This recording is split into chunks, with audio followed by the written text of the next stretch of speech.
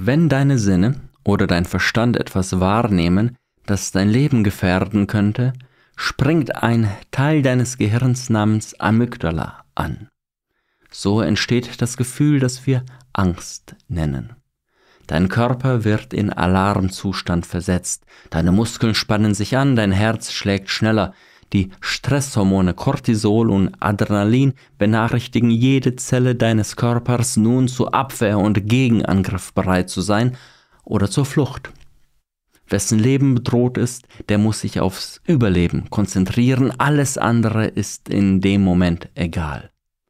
Auch dein Gehirn schaltet in den Angstmodus. Deine Aufmerksamkeit wird auf die Angstquelle fokussiert und blendet die meisten anderen Themen aus.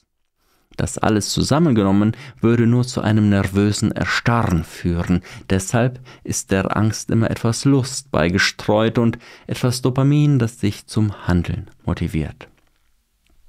Fürs erste Rendezvous ist es übrigens genau deshalb vielversprechend, einen Horrorfilm zu schauen oder gemeinsam eine gefühlt gefährliche Jahrmarktattraktion zu besuchen, die eine Lust ähnelt der anderen.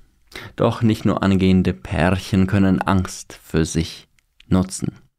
Politik setzt Angst ein, um die Bürger zu manipulieren, um sie gefügig zu machen, um sie abzulenken. Die Regierung wählt schon mal beliebige Phänomene, die seit Jahrhunderten und Jahrtausenden zutiefst menschlich oder natürlich sind oder auch vollständig absurd und ausgedacht und baut jeweils eine Panik um sie herum. Viren, Moral, Klima oder schlicht, dass es im Sommer warm ist, alles ein möglicher Grund für staatlich verordnete Panik. An jeder Panik verdienen natürlich die Partner und Freunde der Politiker.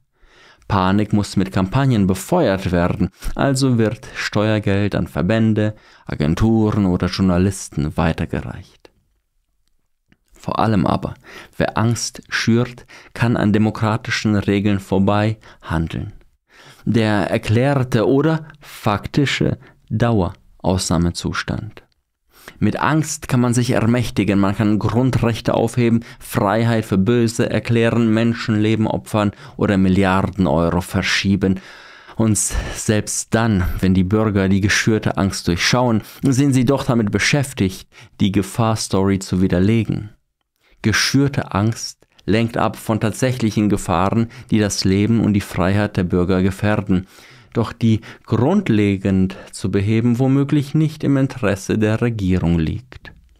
Angst vor importierter Gewalt und Clans, ungünstig für die Migrations- und Schlepperindustrie, Angst vor Gentherapie, ungünstig für die Profite durch die Viruspanik, Angst vor Abschaffung des Bargelds und automatischer Zensur aller Kommunikation, ungünstig für die Richtung von etwas, das auf keinen Fall Diktatur genannt werden will.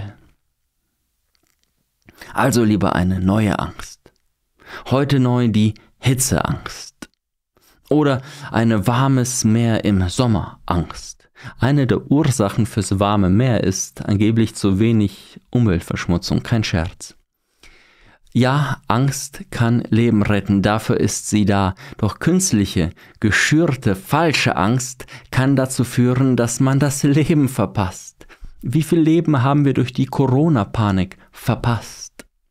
Von falscher Angst geblendet laufen wir blind in echte ganz andere Gefahr. Ich sage, fürchtet nichts, nur weil die Propaganda es euch einredet, das zu fürchten. Die wollen zuerst sich nützen und dann vielleicht euch schützen. Seid euch der Gefahr bewusst, dass man echte Lust an Angst empfinden kann. Setzt euren Verstand ein und fürchtet, was wirklich gefährlich ist und habt genug Mut und bringt den Überlebenswillen auf, euch vor echter Gefahr zu schützen. Die richtige Angst zur richtigen Zeit kann euer Leben retten und lebendig zu sein ist zwingende Voraussetzung dafür, sich am Leben erfreuen zu können.